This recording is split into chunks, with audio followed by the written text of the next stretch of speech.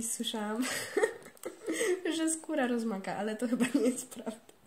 E, myślę, że coś jest, no nie wiem, że może jakieś bakterie, co są na skórze, one jakoś tam reagują, nie wiem. Nie wiem. Może potem skóra odpada na przykład. Nie wiem, bo się skóra jakoś rozszerza pod wpływem wody? Nie, że może się rozszerza skóra i dlatego ona się potem marszczy, że nie wiem, za dużo. Skóra się zmiękcza i e, po, nie wiem, zmiękcza się skóra. A, właśnie słyszałam kiedyś, y, że ja zawsze myślałam, że to dlatego, że woda namaka, e, wsiąka w skórę, ale to jest, y, s- gdzieś przeczytałam, że to jest nieprawda i przeczytałam jakieś takie dziwne wytłumaczenia, ale już zapomniałam o co chodziło. No, po prostu pęcznieje. nie wiem. No, nie, nie wiem.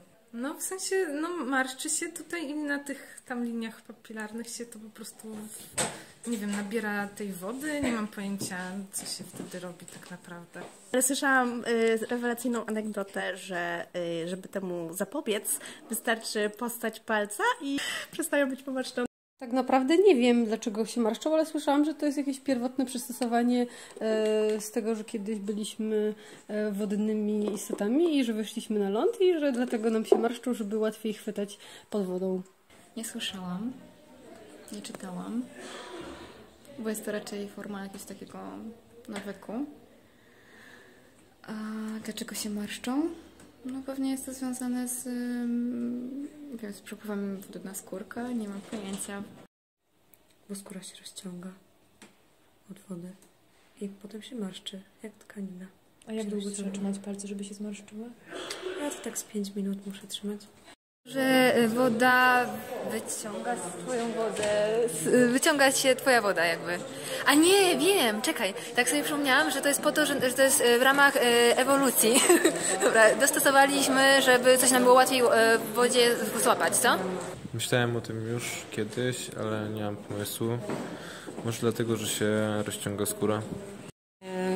Wydaje mi się, bo czytałam gdzieś kiedyś, albo ktoś mi powiedział, że y, dlatego pa palce się marszczą pod wodą, żeby jak człowiek chce chwycić jakiś przedmiot pod tą wodą, to żeby była lepsza przyczepność palców do, do tego obiektu. Woda dostaje się pod skórę i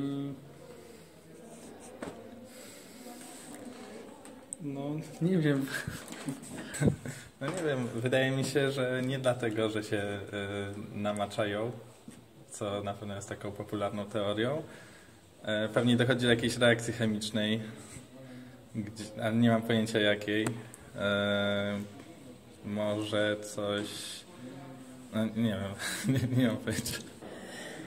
E, Nie wiem, bo, bo nie wiem, woda wysusza skórę i dlatego się marszczy. No, tak, takie coś mi przychodzi do głowy. nie wiem.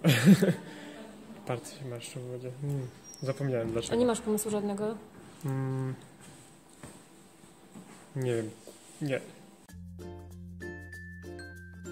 Martwe komórki znajdujące się w warstwie rogowej naskórka absorbują wodę, czego skutkiem jest marszczenie się skóry.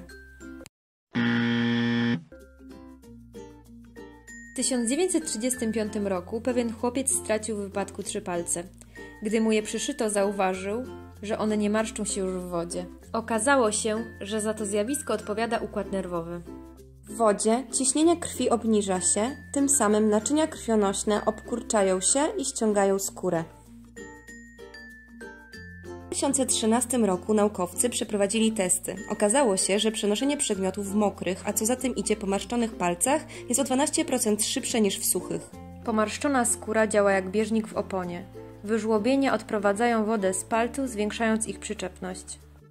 Zdaniem badaczy, pomarszczone palce stóp i dłoni mogły służyć poprawie uchwytu naszych przodków, na przykład przy wspinaniu się na mokre drzewa.